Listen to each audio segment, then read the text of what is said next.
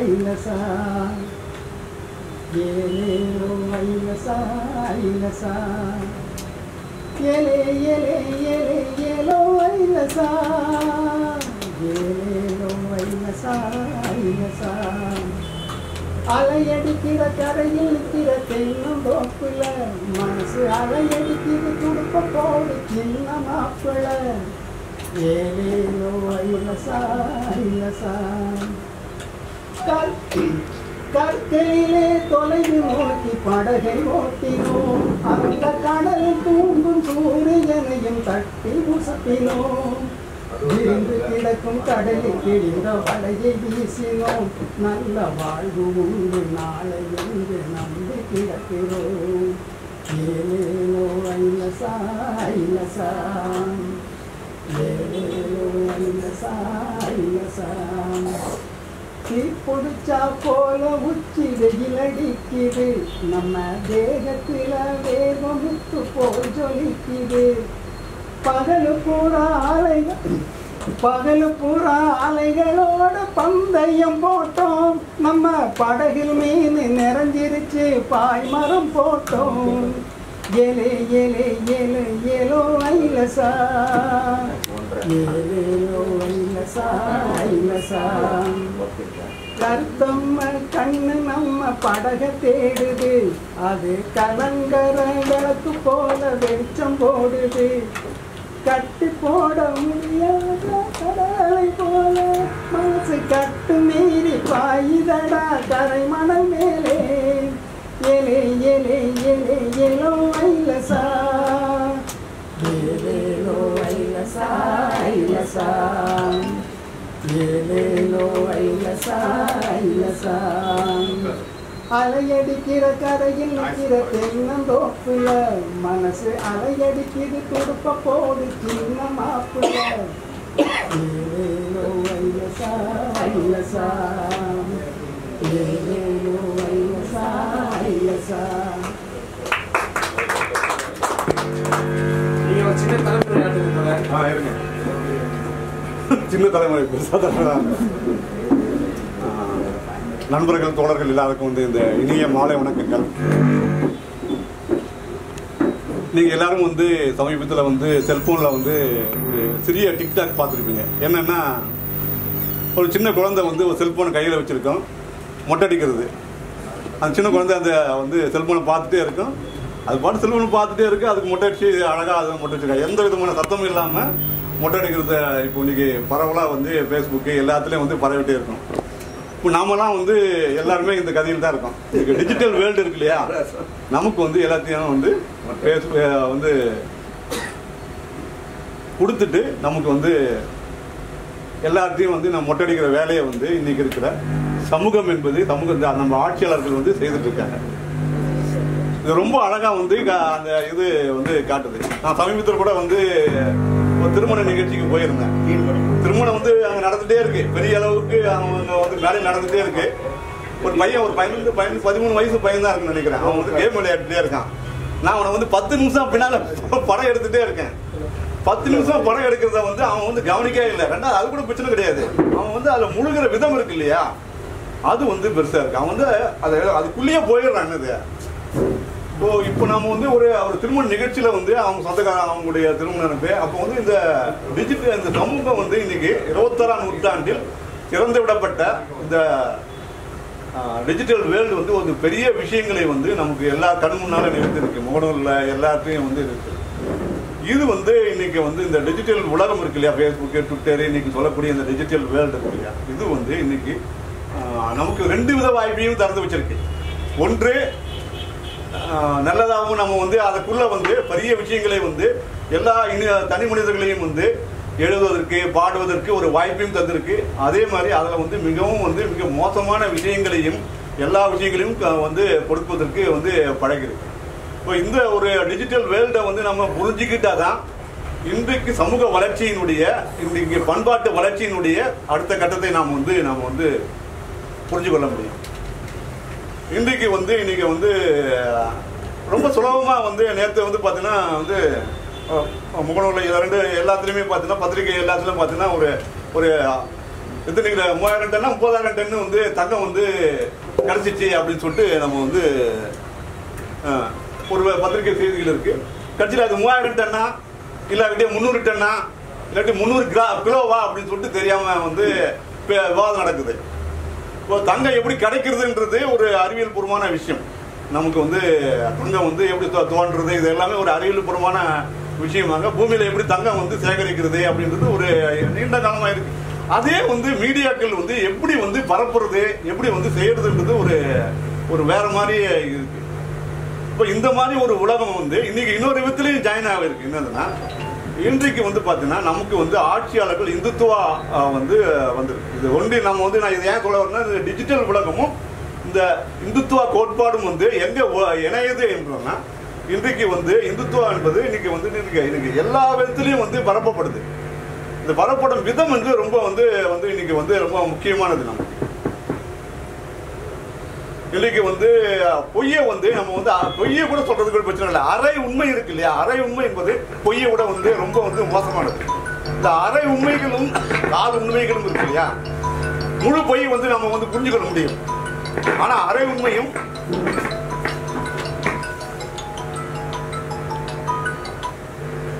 வந்துட்டீங்களா? சரி okay okay சரி சரி ஓகே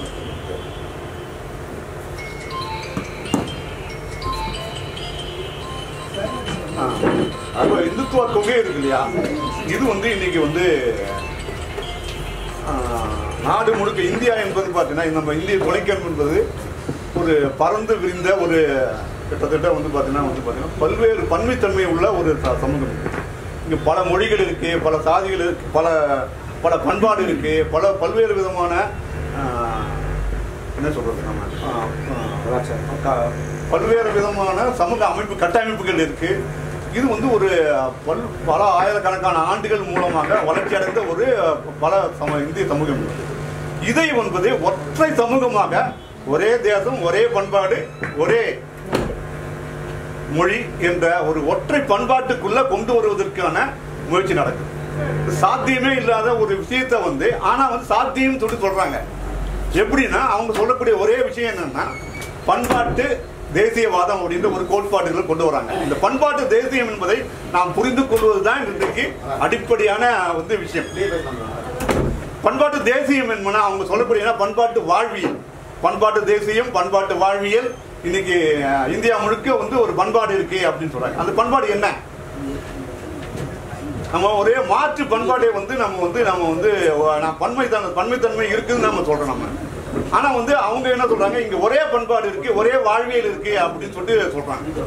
அது ஒரே ப- பண்பாடு ஒரே வா- ஒரே வாழ்வியல் என்பது என்னன்னா அவங்க சொல்ற விஷயங்கள் வந்து வர்ணாசுர தர்மமும் அதோடு இணைக்கப்பட்ட சாதிய பண்பாடும் தான் வந்து இந்த சாதிய பண்பாட்டினுடைய அடிப்படையான இந்த சாதி கூட வந்து பலவா இருக்கு. ஆனா சாதி பண்பாட்டினுடைய ஒரு முக்கியமான விஷயம்னா அதனுடைய பார்ப்பனியம்.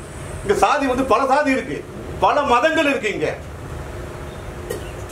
தமிழ்நாட்டை பொறுத்த வரைக்கும் எடுத்து பார்த்தீங்கன்னா இங்கே பல மதம் இந்த சைவ மதம் இன்னைக்கு வந்து பல மதங்கள் வந்து இங்க வந்து ஆறு மதங்கள் இருந்தது. இன்னைக்கு அதெல்லாம் ஒன்னாச்சு இதை பத்தியான விவாதங்கள் எல்லாம் நடந்துட்டே இருக்கு. இன்னைக்கு ஆசிய இருந்தது. இன்னைக்கு ஒவ்வொரு சபா பண்பாட்டு சமணம் இருந்தது பௌத்தம் இருந்தது இன்னும் வந்து சிக்கியம் இருந்தது. இன்னைக்கு வைகுண்டர் வைகுண்டர் ஆட்டம் வ- வைகுண்டர் இருந்திருக்கு. இன்னைக்கு பல மதங்கள் வந்து இந்த இந்தியாவில் இருந்திருக்கு.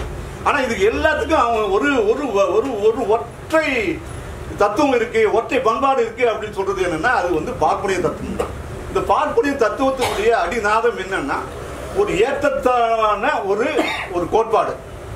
கீழே ஒருத்தர் இருந்து மேலே வரைக்கும் ஒரு வ- வசதியான ஒரு ஒரு கோட்பாடு. இந்த கோட்பாடு வந்து ரொம்ப வந்து இன்னைக்கு வந்து திணி- அது வந்து அப்படிதான் இருக்கு அப்படி சமூகமே அப்படிதான் மனிதர்கள் அப்படிதான் அப்படின்னு சொல்லிட்டு சொல்லப்படுகிறது இப்படிதான் இப்படிதான் வந்து ஆண்டவன் படைச்சிருக்கா இதுங்க ஏத்துக்கணும் அப்படின்ற ஒரு தத்துவம் கோட்பாடு. இதே இது வந்து நான் விரிவாக பேச வேண்டிய விஷயம். நான் அதுக்குள்ளே போகல நம்ம ஏன்னா இன்னைக்கு பார்ப்பனியத்தை பற்றியான இந்த வர்ணாசத்திற்கான ஒரு தத்துவம் இருக்குது. இது வந்து நீண்ட காலமாக கடை கடைப்ப ரெண்டாயிரம் வருஷங்களாக கடைபிடிருக்கு இது எல்லாத்தையும் இந்தியா முழுக்க ஒரே மாதிரியாகவும் கிடையாது. இந்தியா முழுக்க வந்து பலவாதார இந்த பத்து தத்துவம் வந்து அந்த பண்பாடு வந்து கடைபிடிக்கப்பட்டிருக்கு. ஆனால் இதுக்கு இது இப்போ வந்து இந்த பண்பாடு வந்து ஏன் வந்து தொண்ணூறுகளுக்கு பிறகு படிப்படியாக வளர்ச்சி அடைஞ்சு இன்னைக்கு வந்து பார்த்தீங்கன்னா ஒரு நம் கண் முன்னால் ஒரு பூதகரமாக வந்து நிற்குது ரெண்டாயிரத்தி இருப ரெண்டாயிரத்தி இருபத்தஞ்சுக்குள்ள என்ன சொல்றாங்கன்னா என்னது இந்து வந்து இதை அறிவிச்சிடுவோம் அப்படி மாதிரி வந்து நம்ம எல்லாரையும் வந்து பயமுறுத்திட்டு இருக்காங்க. ஆனா இதே சமயத்தில் பார்த்தா இன்னைக்கு ட்ரம்ப் வந்திருக்காரு. அவர் ஒரு கோட்பாடு வச்சிருக்காரு. ட்ரம்ப்புடைய கோட்பாடு என்ன? ஏன் இங்க இந்த ட்ரம்ப்புக்கும் அமெரிக்காவுடைய ஏகாதிபத்தியத்துக்கு இதுக்கு என்ன கொடுக்குது ஒன்றுமே வித்தியாசம் கிடையாது. ஏன் இன்னைக்கு கார்ப்பரேட் அரசியல் இருக்கு இல்லையா? கார்ப்பரேட் பண்பாடு இருக்கு இல்லையா? அதுக்கும் கார்ப்பரேட் பண்பாடு என்பது ஒரு படிநிலை வளர்ச்சி. இங்க கீழே வந்து பாத்தீங்கன்னா ஒரு மோசமாக வந்து இந்த பண்பாடும் இல்லாட்டி ஏகாதிபத்திய பண்பு கார்பரேட் இன்னும் கூட வேற ஏகாதிபத்திய பண்பு இது பண்ணா அதுக்கும் ஒரு படிநிலை இருக்கு. மேல உச்சியில அமெரிக்கா இருக்கும்.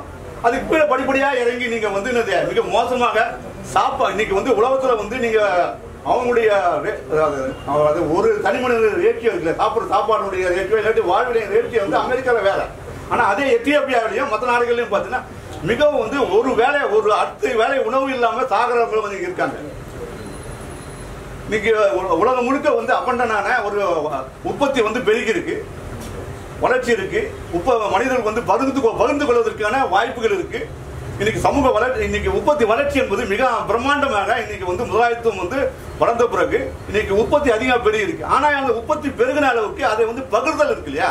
அந்த பகிர்தல் வந்து இப்படிதான் பகிர்தல் அப்படின்னு சொல்லிட்டு ஒரு மேலிருந்து கீழே வரைய வந்து ஒரு ஹைரார்கி அதாவது ஒரு படிநிலையை வந்து உருவாக்கி வச்சிருக்காங்க. இந்த படிநிலையும் இந்த படிநிலை பார்ப்பனிய படிநிலையும் பண்பாட்டு இந்த கார்ப்பரேட் படிநிலையும் ஒன்றாக இணைந்து இன்றைக்கு செயல்படுது. அதனால தான் வந்து இன்னைக்கு வந்து ரொம்ப சந்தோஷமா வந்து இன்னைக்கு வந்து ரெண்டு பேரும் இணைய முடியுது. நீங்க இணையத்தில் போய் தேடி பாருங்க நீங்க வந்து நீங்க வந்து நீங்க வந்து ஒரு பக்கம் வந்து என்னது மாடர்ன ரொம்ப மாடர்னா பேசி பேசிட்டு இருப்பாங்க. இன்னொரு பக்கம் பாத்தீங்கன்னா வந்து பாத்தீங்கன்னா என்னது நாங்க வந்து பா- இந்த த- நம்முடைய ப- பாரம்பரியம் பண்பாடு சொல்லிட்டு ஒரு விஷயத்தை பேசுறாங்க.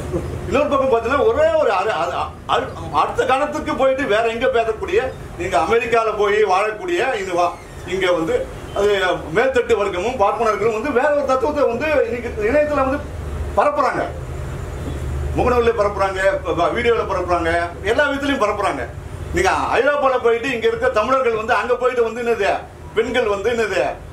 இயற்கையாக நடக்கக்கூடிய ஒரு விஷயத்தை வந்து ஒரு பெரிய விஷயமா வந்து காட்டப்படுது இருக்கு இல்லையா? அதாவது அவங்க வந்து வயசுக்கு வந்துட்டாங்கன்ற விஷயத்தை வந்து ஒரு திருவிழா போல வந்து கொண்டாடி அவங்களுடைய அந்த கல்வியை வந்து அவங்களுக்கு இப்படி ஒரு கொண்டாட்டத்தை வந்து உருவாக்கி இது ஒரு பெரிய விஷயமாக வந்து பெண்ணடித்தனத்தை உருவாக்குறது.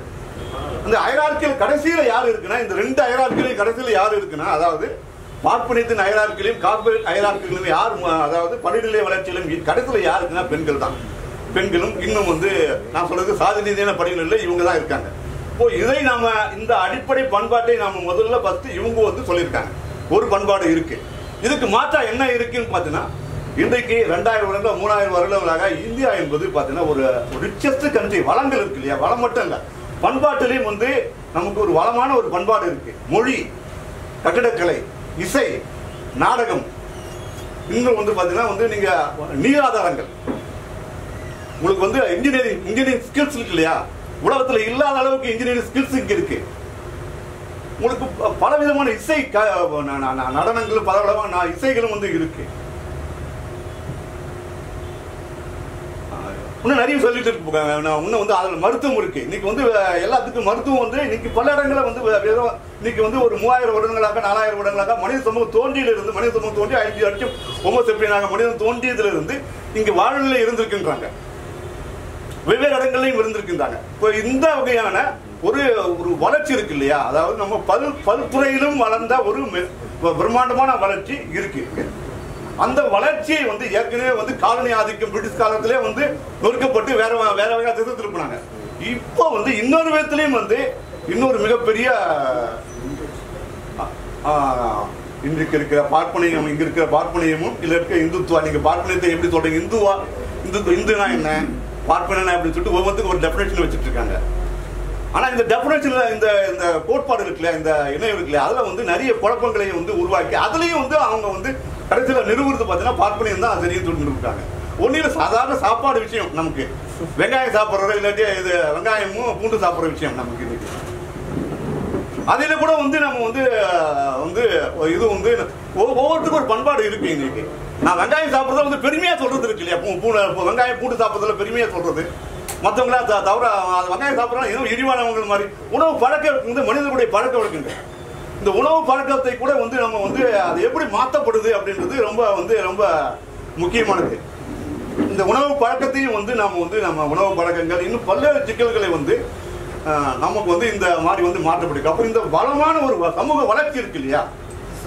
அந்த கட்டில க- நான் உங்களுக்கு வந்து நம்ம நீங்க வந்து நமக்கு நான் சொல்றதுன்னா பார்த்தீங்கன்னா சென்னையில் கானாவுடைய பாடல் இருக்கு இல்லையா? நீங்க எல்லா இடத்துலையும் அந்த எடுத்து நம்ம வந்து நம்ம வந்து நிறுவ முடியும். இப்போ இந்த இத்தகைய ஒரு வளமான மரபு இருக்கு இல்லையா? இந்த வளமான மரபை வந்து நம்ம வந்து மீச்செடுத்து அதில் வந்து நம்ம வந்து இப்ப இருக்கிற இந்த பண்பாட்டை வந்து நாம் வந்து நமக்குரிய உழைக்கும் மக்களுடைய நம்ம வந்து காலங்காலமாக உருவாக்கிய அந்த பண்பாட்டை வந்து நாம வந்து நாம வந்து மீட்டெடுப்பது மட்டுமல்ல அவற்றுக்காக நாம வந்து ஒன்று சேர்றது இதுக்கு நமக்கு வந்து இங்க ஏற்கனவே நிறைய உதாரணங்கள் இருக்கு. நாம வந்து நாம இங்க பல நீரோட்டங்கள் இருக்கு. இன்னைக்கு வந்து கம்யூனிஸ்ட் கட்சி கம்யூனிஸ்ட் இயக்கம் வந்து ஒரு நூற்றாண்டு இருக்கு. அது ஒரு நீரோட்டம் இருக்கு. பெரியார் இயக்கம் அதுக்கு ஒரு நூறாண்டு வரலாறு இருக்கு. அதே மாதிரி இன்னைக்கு தலித் இயக்கத்துக்கு ஒரு ஒரு ஆயிரத்தி ஐநூறு ஒரு நீண்ட வரலாறு இருக்கு. அதே மாதிரி சிறுபான்மையர்கள் தமிழ் தேசியத்துக்கு இருந்து ஒரு நீண்ட வரலாறு இருக்கு. பல நீரோட்டங்கள் இருக்குங்க இந்த நீரோட்டங்கள் வந்து ஒவ்வொன்றும் வந்து என்னது ஒன்று ஒன்றுக்கு ஒன்று கொடுக்கல் வாங்கல் இருந்துச்சு அப்போ இந்த கொடுக்கல் வாங்கல் இருக்குல்ல இந்த ஒரு ஒரு ஒரு யூனிபிகேஷன் இருக்கு இல்லையா இந்த இந்த நீரோட்டங்கள் எல்லாவற்றையும் நாம் வந்து ஒன்றிணைத்து நாம் வந்து ஒரு ஒரு காம்ப்ளெக்ஸாக புரிந்து கொள்வது அதாவது ஒரு என்ன சொல்றது ஒரு ஒருங்கிணைந்த பா- பாணியில் புரிந்து கொள்வது கான்சியஸாக புரிந்து கொள்வது தான் இன்றைய பண்பாட்டு அடிப்படையின் தேவை. அது ஒருங்கிணைந்த அந்த ஒருங்கிணைந்த சிந்தனை இருக்கு இல்லையா அது இது தோழர் ரவி தோழர் வந்து நம்ம கேரளா தோழர்கிட்ட பேசல. அவரு என்ன ஒரு ஒரு வார்த்தை சொன்னார் ஓர்மை அப்படின்னா என்ன தமிழ்ல? நமக்கு வந்து அது காலாவதியான ஒரு வார்த்தைன்னு சொல்றாங்க. ஆனா அவங்க அவங்க இதுல வந்து தோழர் என்ன வார்த்தை அது? ஆ, ஓர்மா. ஓர்மான்ற ஒரு வார்த்தை இன்னும் வந்து ஒற்றுமை. அது கான்சி ஓர்மான்னா கான்சியஸ் நினைவு. மெமரிஸ் ஓர்மானா ஓர்மானா வந்து மெமரிஸ் அது. நினைவு. இப்போ ஒரு ஒரு ஒரு சமூகத்தினுடைய மொழியினுடைய அடி எப்படி இருக்கு அப்படின்றது இருக்கு இல்லையா? ஓர்மை அப்படின்ற ஒரு சொல் இருக்கு இல்லையா? நமக்கு மறைஞ்சு போன ஒரு சொல்லு வந்து அவங்க வேற இடத்துல வந்து வேற மாதிரியே வந்து அதே சொல்லோட வழங்கிட்டு இருக்கு. அப்போ வந்து நம்முடைய பண்பாட்டு மரபில் உள்ள அனைத்து முற்போக்கு கூறுகளையும் ஒன்றிணைத்து அடுத்த கட்டத்துக்கு கொண்டு போவது என்பதுதான் நம்முடைய மாற்றத்துக்கு அடிப்படையானது. அதற்கான நீரோட்டங்கள் ஏற்கனவே இருக்கு. ஆனால் அங்கே என்னன்னா தனித்தனி சிந்தனையாக இருக்கு. அந்த தனித்தனியான சிந்தனையை வந்து ஒன்றிணைப்பது அமைப்பு இருக்கு நமக்கு எல்லாம் எல்லாருமே ஏன்னா இதில் முன்கொண்டு போகிறவங்க எல்லாரும் பார்த்தீங்கன்னா எல்லாம் மிடில் கிளாஸ் இதில் வந்து தலைமை தாமரை எல்லாருமே வந்து மிடில் கிளாஸ் தான் இருக்காங்க. அவங்களுக்கு நிறைய ஈகோஸ் இருக்கு.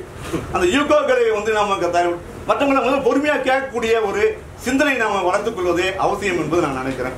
அது எல்லா நாடகத்துறை எல்லா துறையிலும் அந்த சிந்தனையை நம்ம வளர்த்துக்கொண்டு நாம் ஒற்றுமையாக எதிர்கொள்வது இந்த காலத்தின் அவசியம். நாம் இந்த காலத்தின் இந்த இதை என்ன ஆகுன்னா ஒன்று வந்து நம்ம வந்து காட்டு முன்னாடி காலத்துக்கு தள்ளப்படுவோம். இல்ல கட்டி ஏன்னா இன்னைக்கு வந்து அவன் மிக தெளிவாக சொல்லுங்க அழிவு தான் இன்னைக்கு. உலகம் அவன் உலகம் முழுக்க இன்னைக்கு வந்து வெறும் அந்த விஷயத்துல மட்டும் இல்லை. இன்னைக்கு சுற்றுச்சூழலில் பார்த்தீங்கன்னா பாத்தீங்கன்னா மிகப்பெரிய அழிவை வந்து உருவாக்கி வச்சாங்க உலகம் முழுக்க வந்து மு- முற்றிலும் வந்து இன்னைக்கு பூலோகம் வந்து என்னது? இந்த நமக்கு இருக்கிற இந்த உயிர் கோலத்தை வந்து அழிக்கக்கூடிய ஒரு கார்பரேட் அரசியல் வந்து இணைக்குது. அது கவலைப்படாம அழிக்கலாம்னு சொல்றாங்க.